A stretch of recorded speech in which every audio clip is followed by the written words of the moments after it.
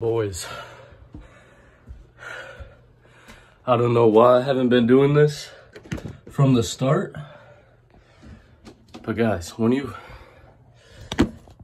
when you first wake up in the morning, just go for a run. I've never done it before and like actually just ran. But it's like the ultimate wake me up. It gets all the blood flowing through your body and you get to get outside, get fresh air first in the morning.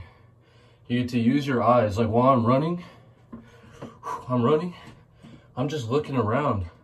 I'm like looking at trees. I'm like noticing things I never seen before where I live.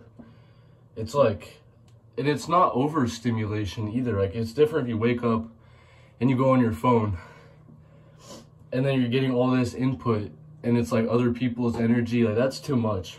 But if you're just running, you like see a cat walking down a driveway, you're running, you, you see like a, a guy walking, like that's perfect, like natural stimulation that we like seek when we wake up.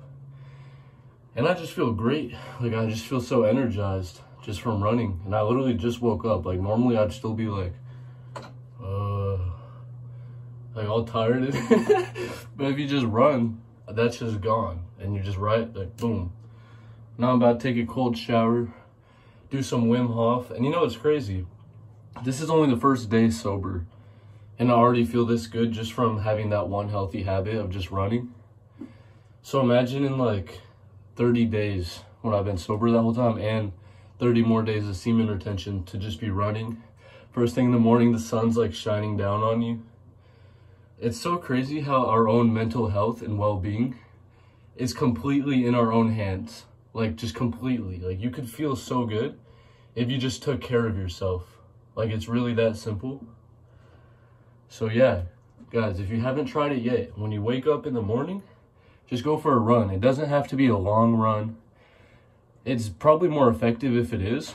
I think I ran like a mile though. It, it wasn't much.